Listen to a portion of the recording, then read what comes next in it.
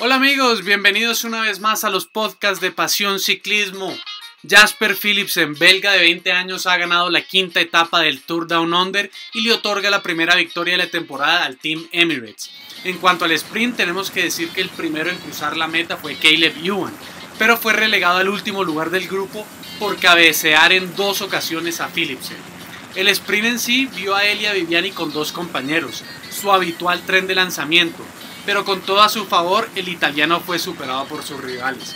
Se vio claramente sin piernas en el momento más crítico del sprint. Así pues, el orden de llegada fue Philipsen, seguido de Peter Sagan y Danny Van Poppe. E insistimos con este tema, a Sagan se le ve falto de ese golpe de pedal. Y la razón, creemos nosotros, es que este año quiere a toda costa ganar Milan San Remo. Otra razón es que va a estirar un poco más su temporada de clásicas hasta la Lieja Bastoña Lieja, por eso debe retrasar su pico físico para llegar con la forma exacta y lograr así estar en buena forma durante todo ese tiempo. Patrick Bevin continúa como líder ahora por 26 segundos, seguido de Darry Limpia 7 segundos. La razón por la cual estiraron la ventaja es que se disputaron los dos sprints intermedios y ambos consiguieron 5 segundos de bonificación cada uno. Una muy buena renta para encarar Willunga Hill.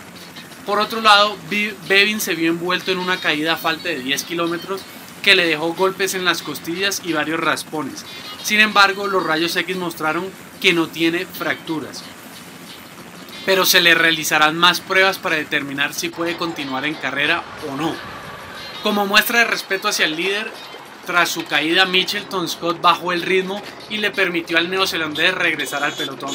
Así que una muy buena muestra de deportividad. San Pantano es puesto 53 a 5 minutos 58. Para esta noche se corre la sexta, y última etapa de 151 kilómetros entre McLaren Vale y Willunga Hill, con 1800 metros de desnivel. Y doble paso por el tradicional puerto de primera categoría de 3,6 kilómetros al 7,1%.